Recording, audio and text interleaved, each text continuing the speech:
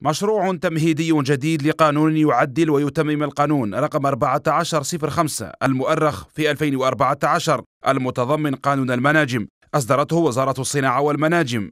التعديلات المقترحة في المشروع تهدف إلى التكفل بالصعوبات المسجلة والتي وجهت عند تطبيق هذا القانون. وكذلك إدراج أحكام جديدة لاستقطاب رؤوس الأموال والاستثمارات الخاصة الوطنية والأجنبية من أجل تطوير النشاطات المنجمية ويكمن الانشغال الرئيسي حسب المشروع التمهيدي الذي تحصلت الشروق نيوز على نسخة منه في الوصول إلى اكتشاف المكامن القابلة للاستغلال اقتصاديا والتي تتطلب تجنيد إمكانيات مالية كبيرة لمعرفة المعلومات والبيانات الجيولوجية والمعدنية في سطح وباطن أرض البلاد.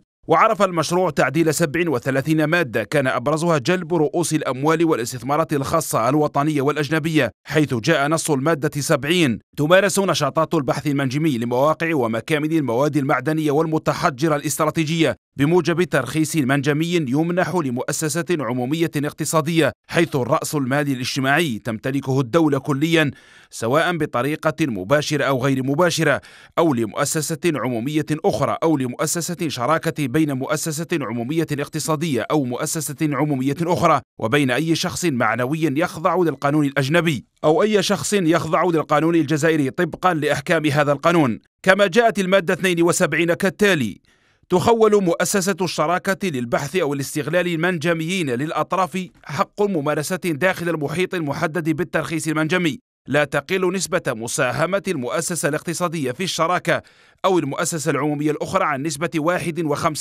51% وحملت المادة 73 أنه يمكن للأطراف في مؤسسة الشراكة البحث أو الاستغلال منجميين تحويل الجزء أو الكل سواء بصفة إنفرادية أو جماعية من حقوقهم وواجباتهم فيما بينهم أو إلى أي شخص معنوي آخر.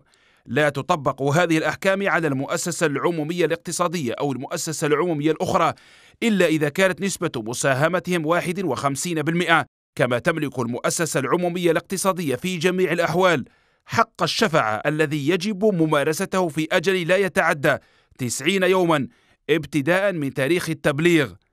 عن طلب التحويل.